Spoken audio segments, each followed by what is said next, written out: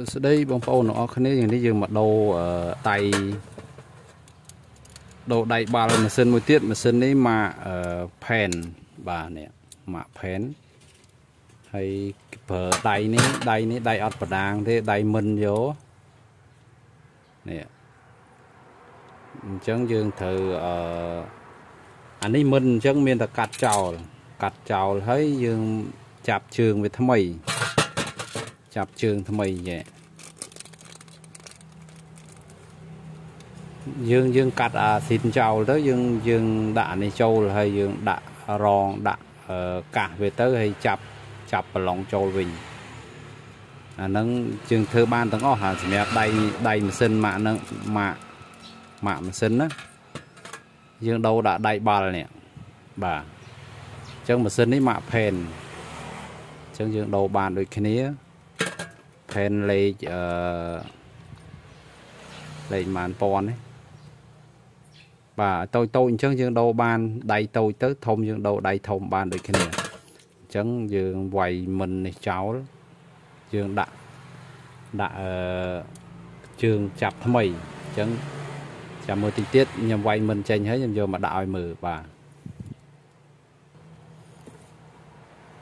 នេះយើងប្រើប្រើ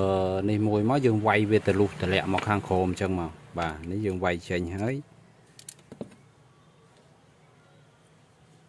ដើម្បីយកកន្លែងហ្នឹងចាប់ចាប់នេះថ្មី ចាប់បដូលថ្មីនេះបដូលនេះឃើញគេមិននៅខាងក្នុងនេះ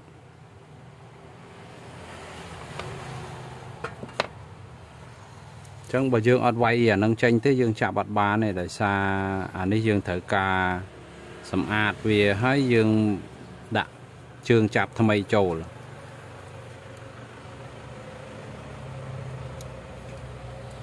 ចឹងយើងលោអានឹងមក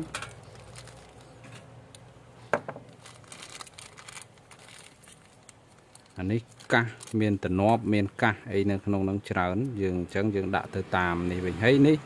បើសិនជាវាណែនវាអត់ស្មើអញ្ចេះយើងអាចអឺរកអីដ្រូវាបន្តិចដើម្បីឲ្យវាចូលក្បាលនេះស្មើយើងបានយើងយកមកដាក់បានបើកាលណាវាអត់ស្មើគ្នាអឺយើងដាក់ទៅក៏វាអត់ជាប់ដែរយើងល្វីបន្តិចទៅវាលងអីចឹងយើងយកមកប្រើអត់កើតទេអញ្ចឹងយើងយើងតលតែយើងដ្រូវាបន្តិចដើម្បីតម្រូវកនេះតម្រូវរូននេះ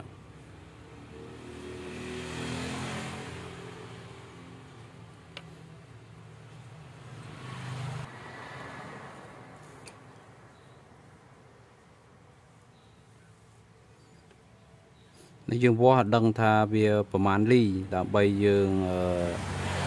ធ្វើតម្រូវរុនអានេះវា3លីកន្លះបាទទំហំវា3លីកន្លះដល់អញ្ចឹងយើងវាស់អានឹងមកប្រហែលលីបាទវាវាប៉ិនគ្នា តាមពិតវាគ្រាន់តែវាណែនបន្តិចយើងយើងសីតែបន្តិចដាក់ត្រូវបើយើងទៅឲ្យអាលងពេកក៏អត់អត់ត្រូវដែរណាហ្នឹងណា តើតាយើងសេរីធ្វើម៉េចមកណែនណែនអញ្ចឹងយើងយកលេងវាបានយូរយើងចាប់ខ្ចៅទៅវាវាមមកាលណាឲ្យលងអត់កើតទេ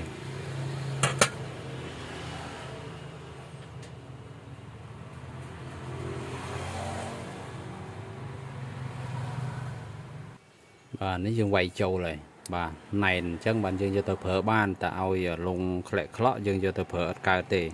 បាទនេះឃើញទេ ចឹងយើងដាក់តែជើងបដាងមកដាក់បដាងចូលរៀបឲ្យត្រូវមកប្រើបានហើយហ្នឹងហើយនេះវាមានប្រឡងវាមួយគ្រាប់ហើយនឹងកាសមួយ យើងសម្រាប់អឺដាក់ចាប់ទប់វាមកតើអាហ្នឹងយើងវាយណែនអញ្ចឹងយើងចាប់ទៅវាជាប់ហ្មងកាលណាយើងអត់វាយអត់ណែនដល់ពេលយើងយើងដាក់ទៅអត់ស្អាតទេ ហើយអញ្ចឹងយើងល្វីលះខូចកណាយើងធ្វើណែនចេះវាល្អ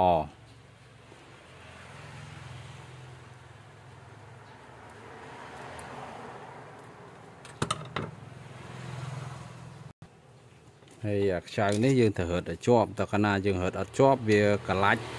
កន្លាច់អញ្ចឹងកាលណាដោះដោះអត់ចេញទេអញ្ចឹងយើងត្រូវរត់វាជាប់កន្លែងនេះ បាទអញ្ចឹងយើងរៀបបដាងចូលមកទី1យើងអឺដាក់បដាងបាទដាក់បដាងចូលតបមក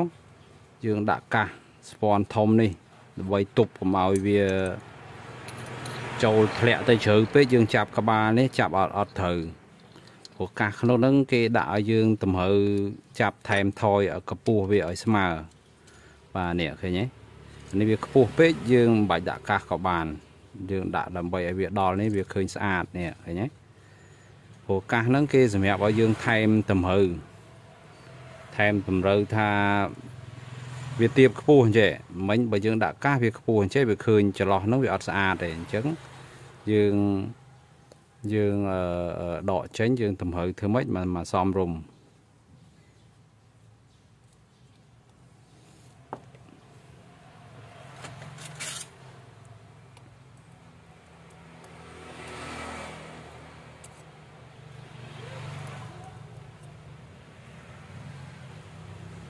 បាទ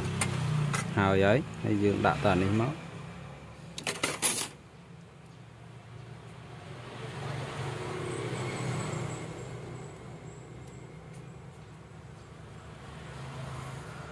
តែអាជើងដែលយើងកាត់នេះអាកាត់បដូលហ្នឹងតែយើងអត់ចេះកាត់កាលណាអត់ចេះកាត់កាត់ទៅអាចខូចនេះអាបដូលស៊ីនវាណាបដូលយើងកាត់ចេញណាកាលណាយើងអត់ចេះកាត់វាបដាលឲ្យខូចដូចគ្នា តែអញ្ចឹងតែយើងជ្រួលដៃវាយខូចជើងហ្នឹងចោលដៃហ្នឹងហើយនេះយើងបានផ្លាស់ប្ដូរវាហើយនេះវាចេញរៀងអញ្ចឹងស្អាតចាំមើលយើងដាក់ចូលក្នុងម៉ាស៊ីនហើយយើងល្វីសាកមើលដឹង